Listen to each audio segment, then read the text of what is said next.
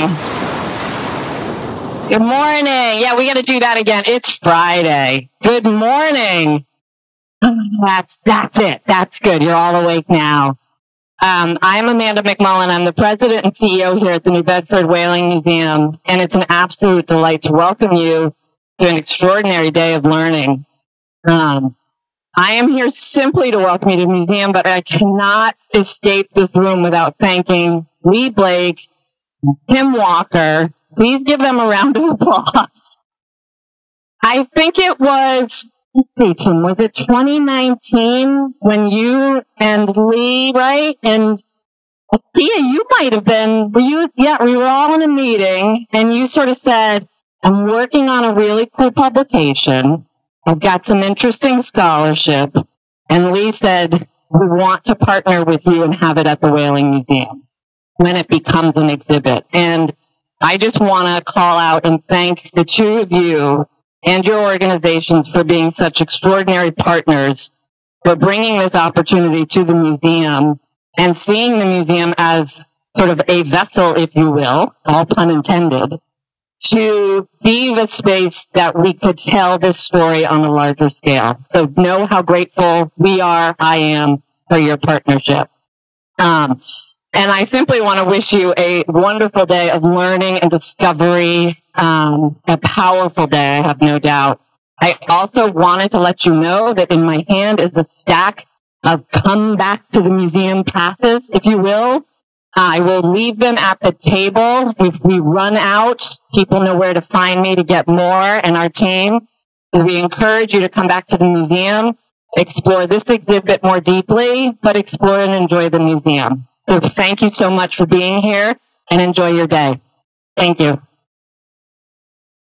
It is a wonderful Friday, and it's wonderful to see you all here this morning, early, here, ready to be on time for the whole day.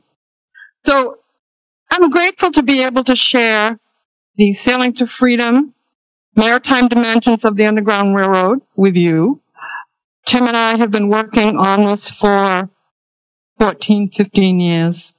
However, the New Bedford Historical Society has been working on this for 27 years. So let's get a round of applause. This conference and this exhibit comes at a crucial time in our history in the U.S. when we have people who want to stop the teaching of African American and multicultural history in schools across the country because it makes people feel bad. Well, what about the people that were oppressed? Did they feel bad? And don't we learn from some of the problems that people have worked together, both black and white, Native American, Cape Verdean. We've worked together to solve some of those problems. So you need to know the background. So we will continue teaching this history. As Tim mentioned, we've been working together for 14 years or so. The uh, New Bedford Historical Society has a group of really dedicated, we're all volunteer, grassroots people who have been saving buildings, that are important to African Americans and Cape Verdeans in New Bedford. When you walk around, you'll see murals of people of color. That is us. We raise the money, we come up with the vision, but we slowly have changed the uh, vision of the city and to make sure that the history of the city that is promoted is multicultural. And I know many of you appreciate our work as you mention it all the time. The Society is the oldest New Bedford organization founded to research and present community programs about the contributions of people of color.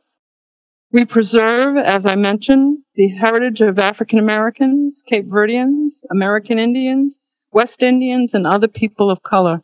And as you look around the room, you'll see some of our ancestors. And I, am looking at Amos Haskins in the back, who's a Wampanoag uh, Whaler.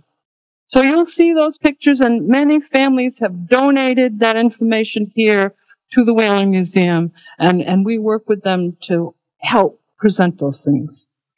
In presenting Sailing to Freedom, we tell the stories of city residents who sheltered freedom seekers and provided sanctuary on our docks, in our homes, and on whaling crews in the 19th century. In our research, we have found the voices of our great great great grandparents, our great aunts and uncles, our cousins and family friends who had much to lose at the time, but a world of freedom to gain. We work to share that legacy with our community and with our children, and I love to say that our murals have never been tagged because our young people love to see them. The, this exhibit, which you'll go and see, and also this conference, is a visible example of our advocacy work about the city from saving the Nathan and Polly Johnson House, the first home and freedom of Anna and Frederick Douglass, a mural to the 54th Regiment, a statue of Lewis Temple at our public library, and now the memorial to Paul Cuffe that graces the New Bedford Whaling Museum.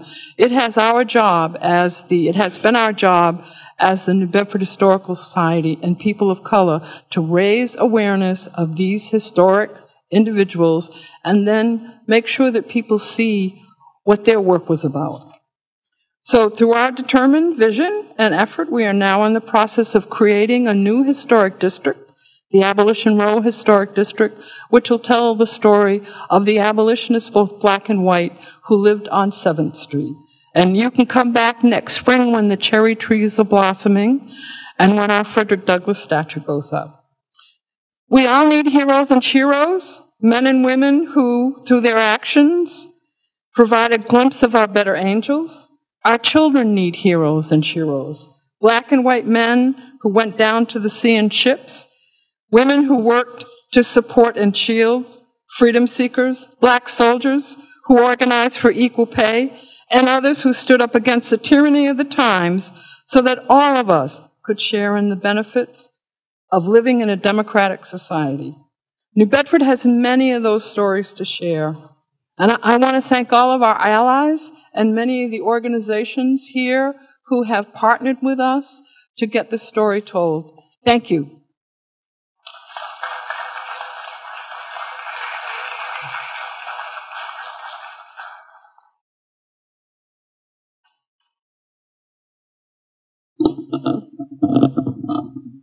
Good morning, everybody. Welcome. Um, I am so very pleased to see so many folks here today, and I want to welcome everyone. I want to thank uh, Amanda McMullen and the staff of the Whaling Museum who have been so helpful in bringing this together. Uh, and I also want to thank, uh, in particular, so many of you are going to have a chance today to go up onto the second floor of the museum and see the exhibition that we've brought together uh, about the book that sort of visualizes with art and artifacts uh, and, and documents so many of the important stories of the Maritime Underground Railroad. But I was not alone in putting together that, uh, that exhibition. So I want to give a special thanks to Michael Dyer, uh, who's here in the back. Michael, say hello. Uh, he's the curator uh, and maritime curator here at the New Bedford Whaling Museum. So he was a huge part in that. But, but also the staff of the National Park uh, that's here that's been so helpful in, in developing this story. Um, uh, I also want to give a shout out quickly to a couple of the student groups who are here. My own students from uh, a course that I'm teaching currently that focuses on the material of the book. They've joined us this morning, and the students from Ocean Classrooms from the Oliver Hazard Perry. So thank you all so much for, for coming today. Uh, and all of you, really. Um, so my name is Tim Walker. I teach in the history department at UMass Dartmouth, and um, I am what might be called, if we were on Nantucket, I'd be called a wash ashore because I'm not from here originally. Uh, I'm originally from the Midwest. I was born in Detroit, Michigan. I grew up in Ohio, but I moved to uh, New Bedford in 2004. Uh, but I had been here before to sail aboard the Ernestina. I came here initially to crew uh, aboard that magnificent schooner that is soon coming home to these waters, and we're very excited about that. Um, but the, the story, my, my purpose here uh, this morning is to orient us a little bit about the general story of the Maritime Underground Railroad and to think a little bit about how that project came about and, and just give us a bit of an overview about what we mean when we talk about the Maritime Underground Railroad. So if you're like me and you grew up and went to school in the United States and you, you hear something about uh, the, the Underground Railroad and how it how it worked. So my uh, my talk this morning is called uh, Re- "Uncovering and Recentering the Maritime Underground Railroad." Uh, and so, if you're like me and you grew up in the U.S. and you learned about the Underground Railroad primarily as a terrestrial, land-bound um, phenomenon, a land-bound historical incident. And you learned about how, you know, Harriet Tubman and other extraordinary people uh, found their way to freedom by fleeing overland on foot, uh, using wagons hidden underneath the cargo of the wagon, things like that. I want to, um, our purpose in writing this book, myself and the, the gathered scholars, most of whom are here today. I worked to do the book with, uh, with nine other fantastic scholars and a, and a team from uh, UMass Press out in Amherst. But our purpose in writing this book was to change the way people think about the Underground Railroad. Um, it's important to remember, of course, the terrestrial side, and in no way to diminish uh, the extraordinary efforts of the folks who escaped overland. But there are some problems with the way the Underground Railroad is usually conceptualized by, uh, and the way it's taught in the United States.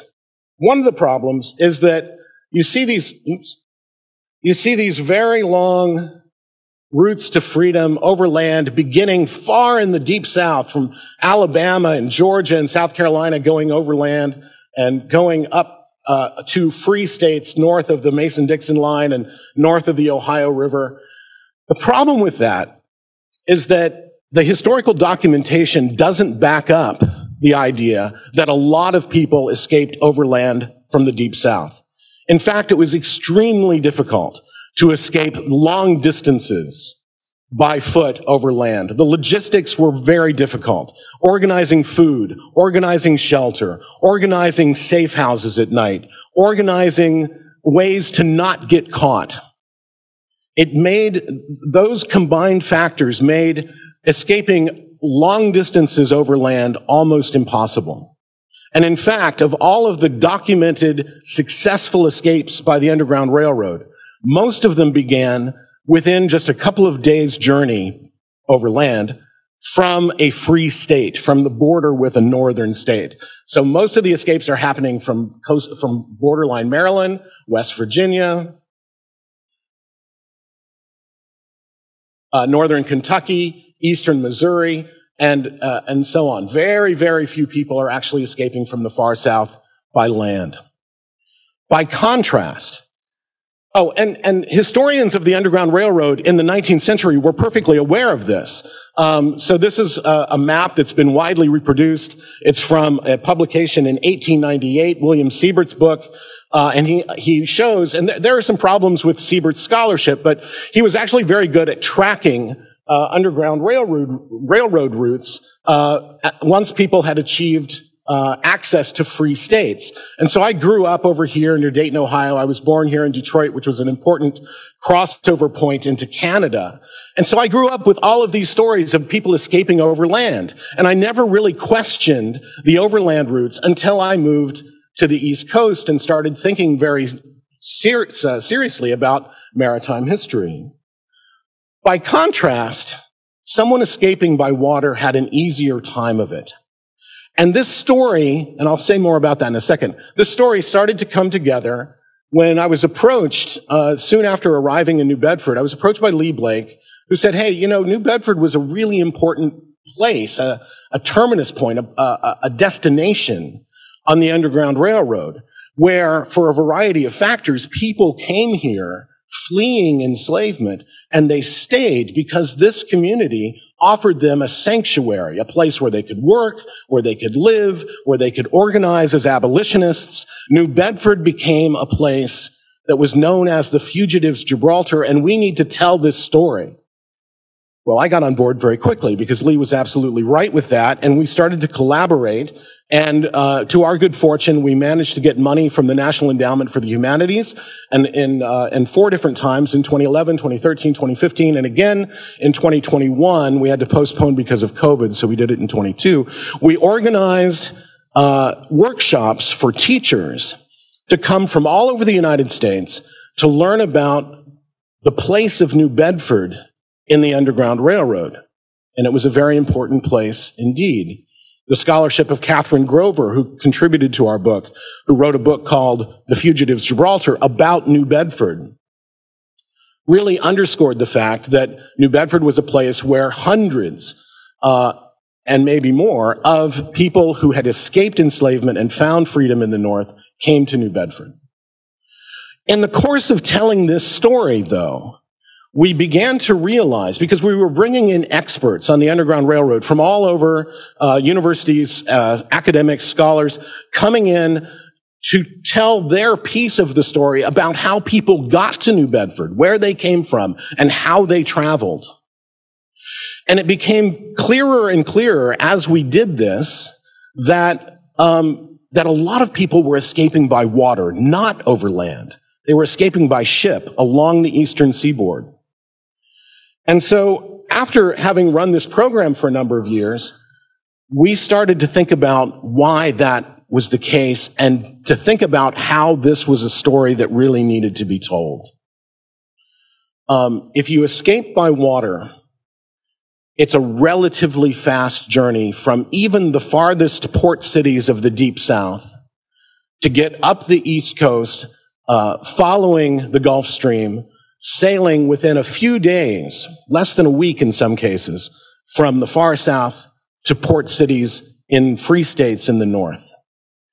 And if we look at the number of documented uh, successful escapes from the far south, almost all of them happened by sea. Almost all of them happened by water. So there's a lot of ways that we know about this. And one of the keys to telling this story is understanding some of the practical factors about life on the southern seacoast. In the, in the slave states prior to the Civil War, what was the labor force like working in the ports and along the rivers and in the offshore sailing trades of the far south? Well, thanks to the scholarship of Jeffrey Bolster, who published a book in uh, 1998 called Blackjacks, we knew that about almost 20% of the entire maritime workforce, sailors, were African Americans in the early 19th century.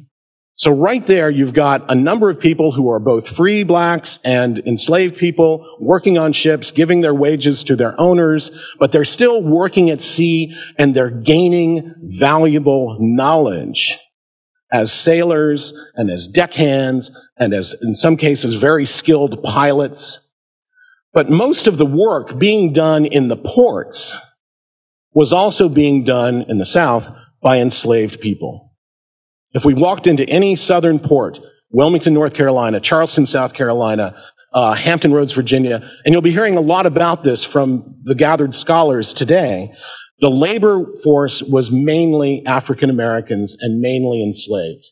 And what they're doing is work that intimately connects them with the rhythms and the, the labor of the ocean going uh, business, the maritime business of America, which was the lifeblood of the United States economy at the time. There were no highways, there were no roads. And so most cargo moved up and down the East Coast aboard thousands of schooners and sloops and ships and brigs.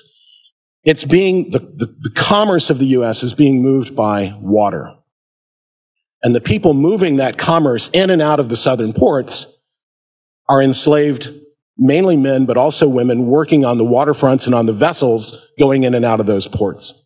What are they doing? Well, they're waterfront dock and wharf workers, they're longshoremen, they're stevedores, warehousemen, drovers and teamsters bringing wagon loads of goods and supplies uh, to provision the vessels they are coming to and from the port, and so they're learning how ports work. They're learning when and where the forces of law enforcement uh, are present in the port. They know how to identify ways, loopholes in the system that allow them to get out of their circumstances of enslaved enslavement. Not only are they working on the waterfront, and, and by the way, some of these are very skilled jobs. They are learning to be riggers. They are learning to be caulkers, uh, the, the work that helps to keep uh, hulls watertight. They are learning how to, uh, to do much of the work to keep these vessels afloat. A lot of that work that's still being done on the, on the waterfront of New Bedford and Fairhaven today.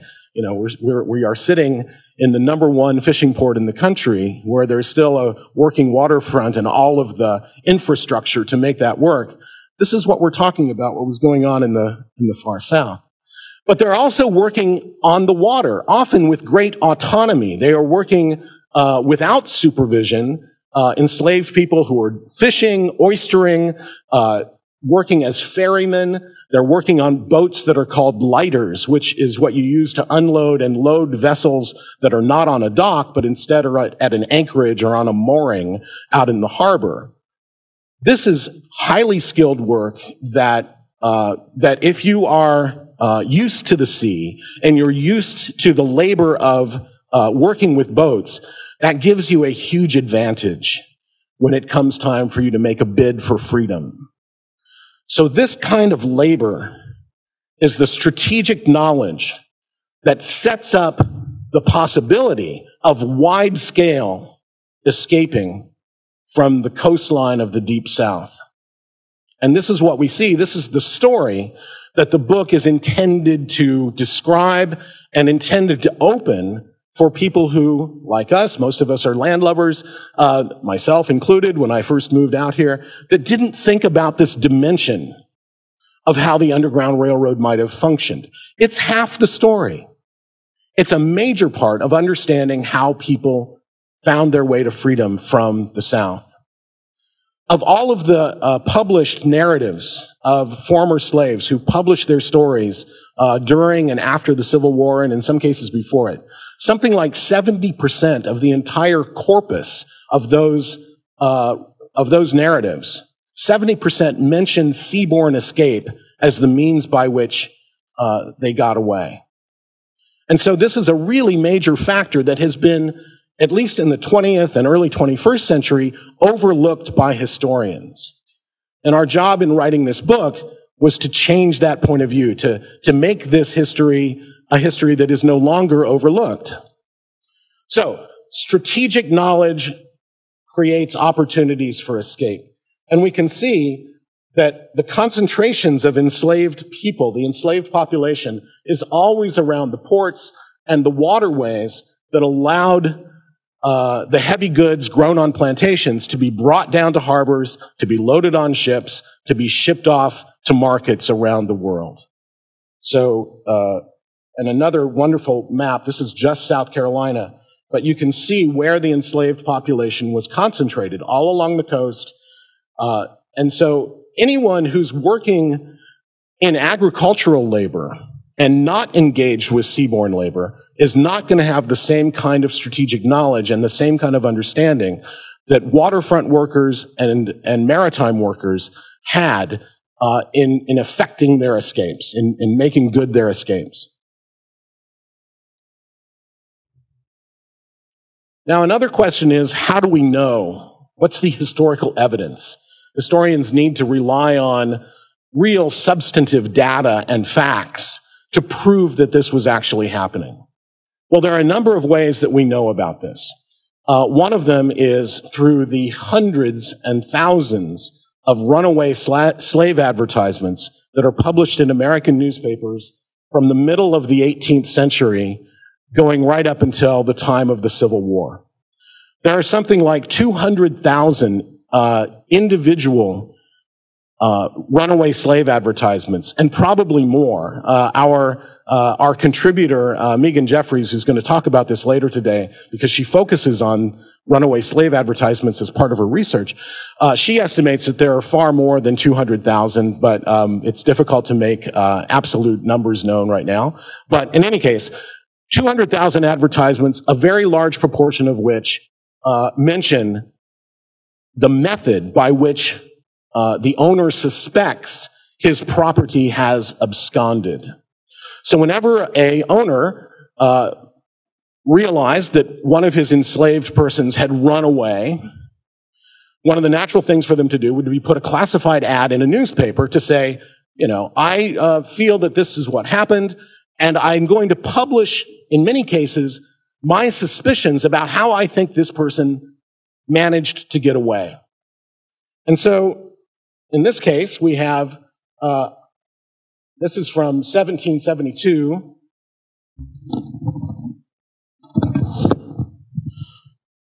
So 1772, um, and we have a young man named Phil. Uh, he's about 20 years old, five foot nine. Uh, he is described as having uh, a how he's dressed, but the point here is, uh, as he as he has been used to the sea, he will probably endeavor to get on board some ship and make his escape out of the colony. All masters of vessels are therefore forewarned from harboring or carrying him off at their peril. So this is already 1772, and we uh, have numerous advertisements of people saying, I think that my property has escaped by sea. And we already have the potential for repercussions of sailing ship captains and masters if they are caught helping people to escape by water. Uh, here's another one, runaway slave advertisement from about the 1840s. The probability is that she has gone towards New Bedford as she has uh, a father living there. Uh, and this is a woman named Jane Pennington, aged about 20 years old. So it's men and women who are escaping uh, by water and coming towards New Bedford. Here's another example of a, a different kind of uh, advertisement. This one is not placed by the owner of a slave, but instead placed by a ship owner who has been implicated in an escape. Uh, it's a very early ad, 1797, but it follows the, um, uh, the uh, fugitive slave law passed by Congress in 1793 which set up penalties for people uh, assisting with escapes. And so here we have a local captain, uh, William Tabor, a, a very well-known local name. And he's putting this advertisement in the paper to give himself legal coverage. And we kind of have to read between the lines about this advertisement. So let's see what it says. Public notice. This was pretty standard. Public notice to all whom uh, it may, to all whom it may uh, concern, know ye that I, William Tabor, commander of the sloop Union, sailed from the York River in Virginia on or about the 28th of March last, bound to this port, New Bedford. It's published in a New Bedford newspaper. That on the day after sailing, I discovered a Negro on board said sloop who had concealed himself unbeknownst to me. I knew nothing about it. He just turned up on my vessel. I have no, I had no prior knowledge that he was going to be there. That's what he's saying. Is that true? Maybe. We don't really know, but he's making the case that he had no prior knowledge that this was happening.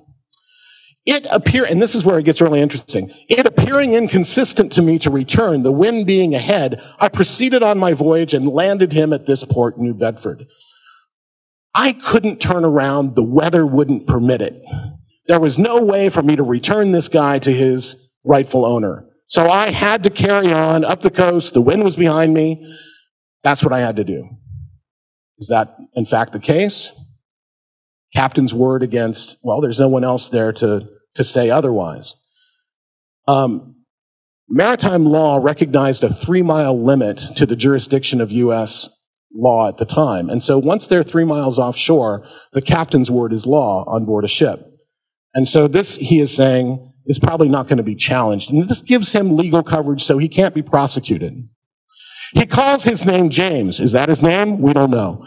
Uh, is about 27 years old and says he belongs to Mr. Shackelford, a planter in Kings and Queens County, Virginia. Any person claiming him will know by this information where he is, for which purpose it is made public in this manner, and every legal method has been taken to prevent the owner losing his property in my power. I've done everything I could I can't do anything more. This is a weekly publication.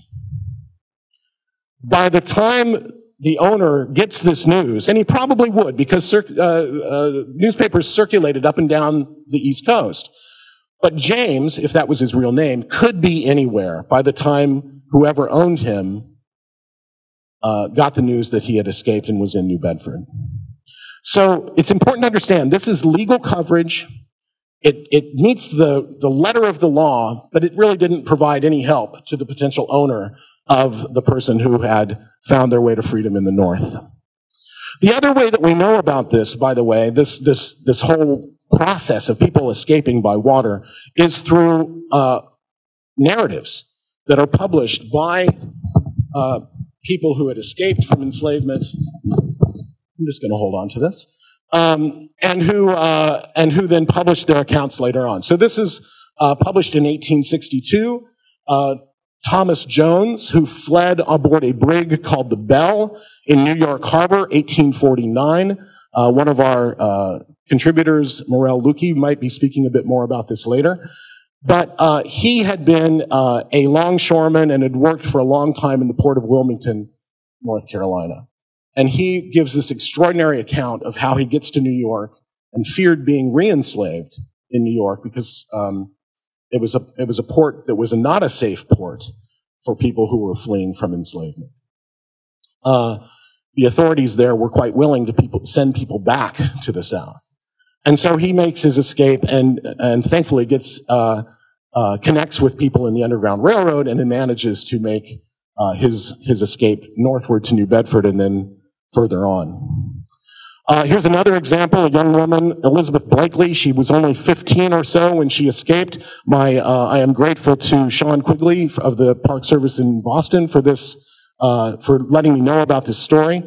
And he'll be saying maybe a bit more about that later. Uh, he, she escaped from Wilmington, North Carolina as well in 1850. She endured almost two weeks in a voyage and uh, frostbite. It was a cold uh, voyage going northward, but she managed to make her escape. And her story wasn't published until the 1920s, but we still know about it. Uh, also from people who worked as operatives of the Underground Railroad. So Austin Bearse was an abolitionist working in Boston, and he publishes in 1880 his book, Reminiscences of Fugitive Slave Law Days in Boston. And he talks about landing slaves at night in Boston Harbor uh, from uh, his yacht, which was called the Moby Dick, uh, in 1853, shortly after the book had come out. So it's curious that he named his yacht that. But we have all of these stories, and by putting the pieces together, by drawing together all of the evidence, we can make a very strong case that this was in fact happening a lot. And through the course of today, as you listen to the contributions of the various scholars assembled to talk about this process, you'll learn more and more and more about uh, the, the cumulative uh, uh, evidence that shows that this was going on. Uh, another wonderful example of a, a, published account, published after the fact in 1872. Uh, uh, this is from the reminiscences of William Still, who was a major Underground Railroad operative in Philadelphia. Uh, publishes an account of hundreds of people who escaped through the port of Philadelphia, many of them arriving by sea. He talks about one particular person, um, Captain Albert Fountain, who ran a packet ship, a regular sailing route up and down the East Coast, delivering cargo and packages and mail. Uh, and he regularly removed people who were trying to make a bid for freedom from southern ports and brought them to Philadelphia and other places. Uh, this is an incident where uh, the ship was searched. There were actually more than 20 people secreted aboard the vessel. None of them were found, uh, and he managed to get them to freedom. Uh, another from the same book, uh, William Still's book, and this is un, unloading people in the middle of the night. It looks like it's almost daylight because you see what appears to be the sun, but it's the moon. And I love this image because it has so many components of the Maritime Underground Railroad. You have families, and by the way, the Maritime Underground Railroad is one way that women and children could be taken out with relative ease aboard ships. Very difficult to flee over land, especially with small children. Uh, but on a ship, you were relatively safer. So we've got people uh, of color, um, agents of the Underground Railroad, who are obviously people who are African Americans, people who are white abolitionists, everyone in, in, uh, in favor of the abolitionist charge. You've got veiled carriages where you can't, the, the windows have been covered so you can't see who's inside, who's, who are going to secret these people and, and spirit them away to safe houses where they can then proceed further north and find their way to freedom. So this image for me encapsulates so much of what's going on in the, under, the Maritime Underground Railroad. But that isn't widely known. And, and when we think about the Underground Railroad, we rarely think about it as a seaborne enterprise. Well, that brings us to where we are today in New Bedford. Uh, then, as now, an important working port. Uh, it was the capital, of course, of whaling in the first half of the 19th century and had become an extraordinarily wealthy city, a city uh, where many of the components had to come together to create the fugitives Gibraltar. The whaling industry begins in Nantucket mainly with people who are Quakers, the Society of Friends.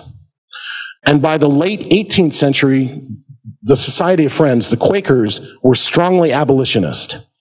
They had divested themselves of their uh, interests in the slave trade, their financial interests, and they were staunchly abolitionist. And then they moved the business from Nantucket to here, to, to New Bedford. And they created in the deep water protected port of New Bedford uh, a, uh, a, a, uh, a hive of activity for whaling, which meant that there was always labor aboard the whaling ships, hundreds of which were sailing out of New Bedford every year. There were opportunities for sailors. There were opportunities for dock workers, people who could keep those ships functioning, refit them every time they came in and sent them out to sea. There was labor uh, needed and labor availability that made people coming from the South with those skills, it gave them a place where they could live and work in a community that would welcome them and protect them. So, the extraordinary labor needed to keep the whaling ships going was one of the reasons that brought people to New Bedford but it was also the extraordinary activity of the abolitionist communities here. New Bedford private, prided itself as being a community where no one was ever taken back into slavery. You couldn't say that about Boston or or uh, or New York or Philadelphia. People had been captured by by uh, by bounty hunters looking for enslaved people and sent back to their former owners. That didn't happen in New Bedford. And so it makes sense in many ways that this is the place where we are uh, conducting this scholarship, where we're conducting this uh, this conference today, and from which the place from which we're disseminating this story about the Maritime Underground Railroad, with so many of you helping in that effort. Thank you very much.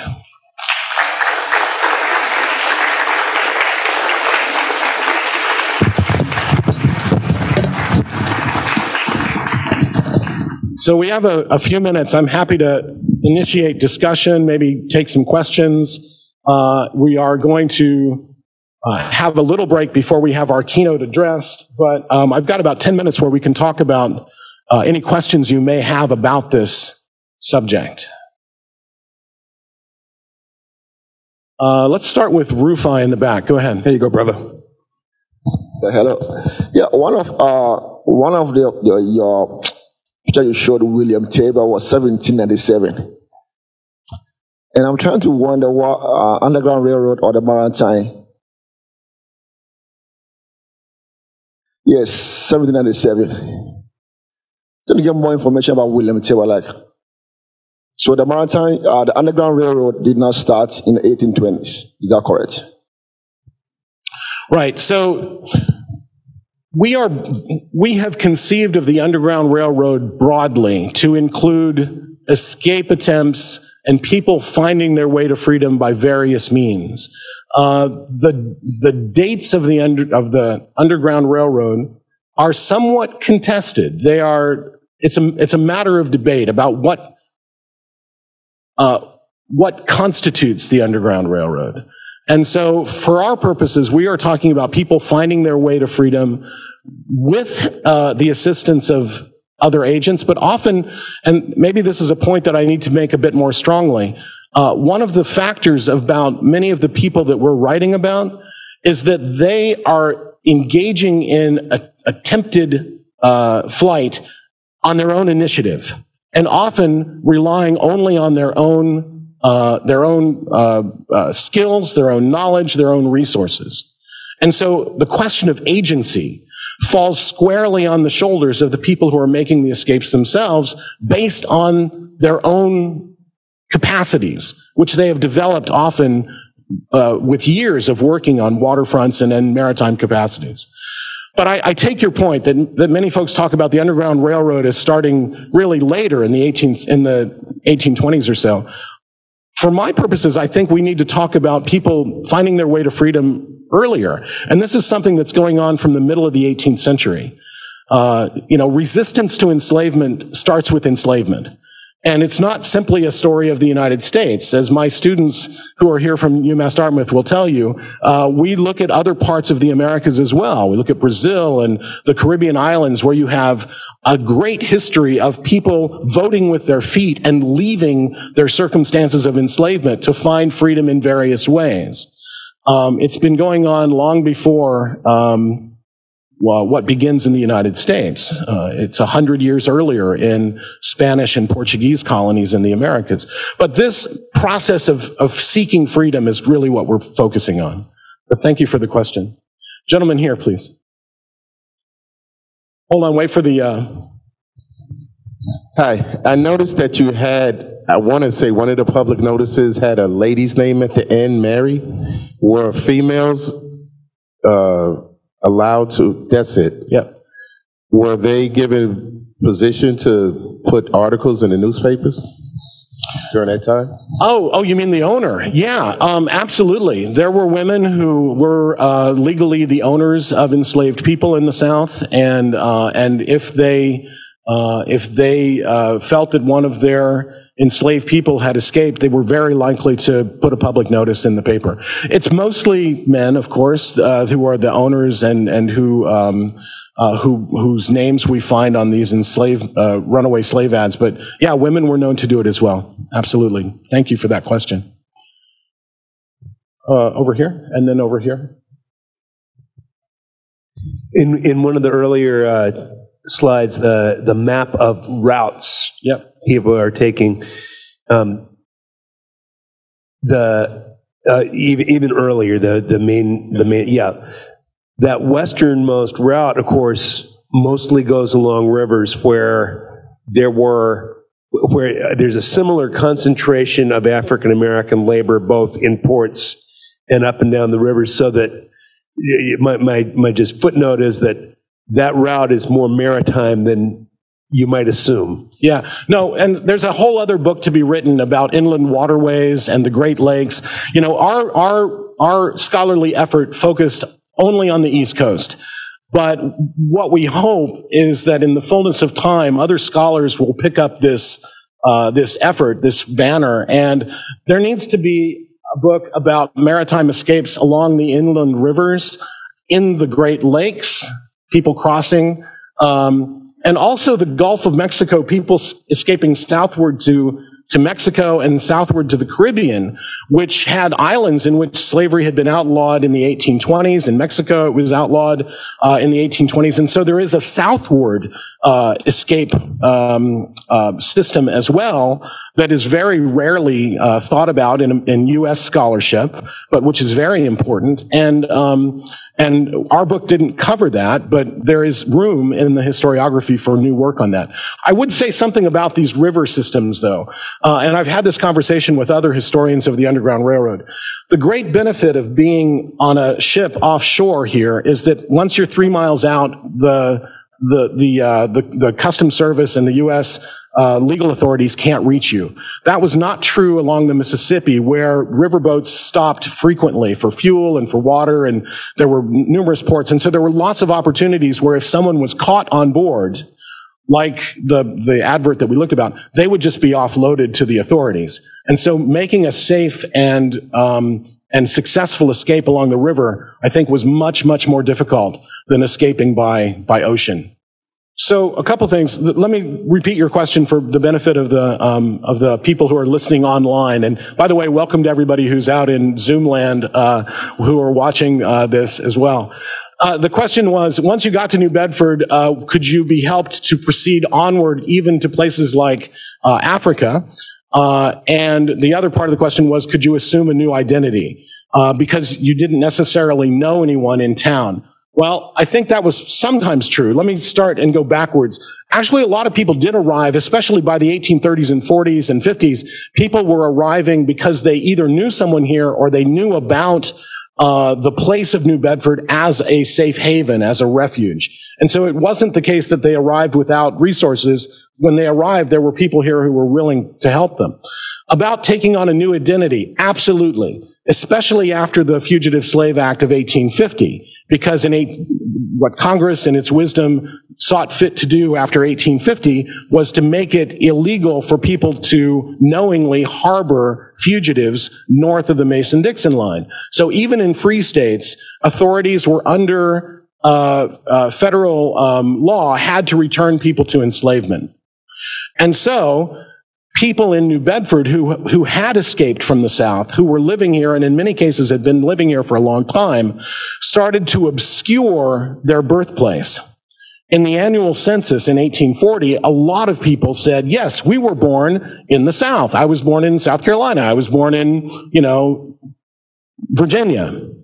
But after the census of 1850, they started to say, no, I was born in New Jersey. I was born in a northern free state. In order to, and, and they often changed their names as well. Frederick Douglass did. You know, he arrived and, uh, and took a different name uh, after some consideration of what it would be. But lots of people did that. And, and I'll say this because you brought it up. The scholarship of tracking people who escape is made more difficult by these very factors. The fact that we are talking about activity that was illegal and that could get people into trouble if the truth came out about how an escape had been made.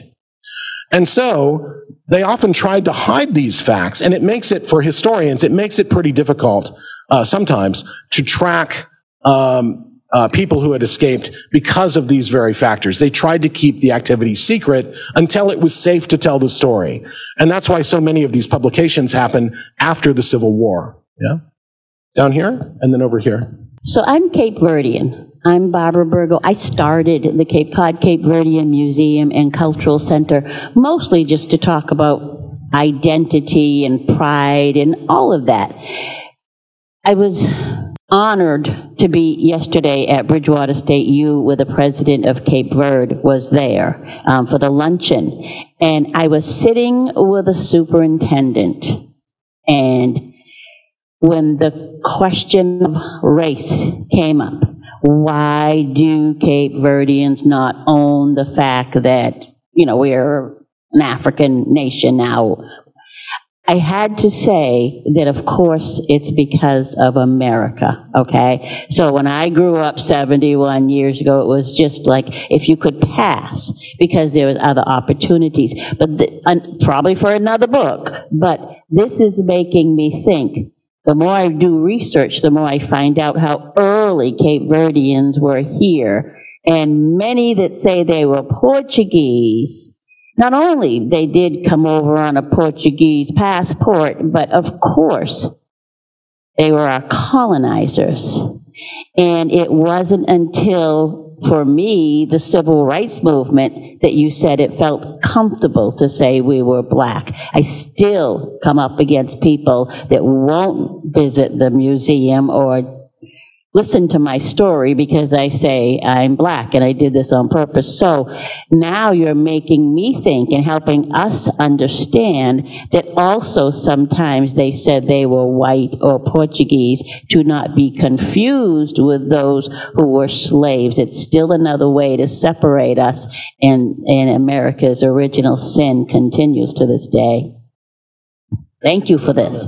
Uh, I'd like to just take one final question because, in the interest of time, we need to carry on. But can we uh, hold on one second? Thank you. Terrific presentation. Wonderful. Thank you. Um, so, my maritime sort of exposure is the classic Cubans getting on boats and getting out and, and doing it in mass.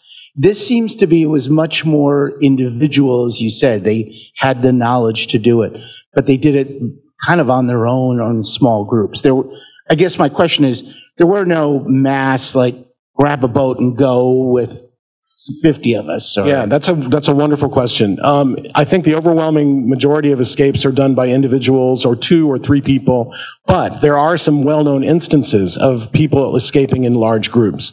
Uh, in fact, one of them is tied very closely to New Bedford. The largest known escape attempt uh, was Daniel Drayton on the schooner Pearl, who tried to take a group of 78 77 people aboard the schooner Pearl, uh, and we'll hear more about that uh, today. They were unsuccessful. They were captured, and New Bedford, uh, New Bedford um, became uh, a place where the captain, after serving time in prison, uh, came back and um, and he's interred here in New Bedford in the rural cemetery. His his his uh, his tomb is here, and it's been cared for by the New Bedford Historical Society. So. Um, but but many of the people who attempted to escape, who were the uh, enslaved property of some of the top names in Washington D.C., uh, many of them were sold to the Deep South as punishment, uh, and others had a happier ending, but very few did. So we'll hear more about that later today. Friends, thank you so much for your questions. Uh, we're going to take a five minute break, uh, and then we'll come back after that. Thank you.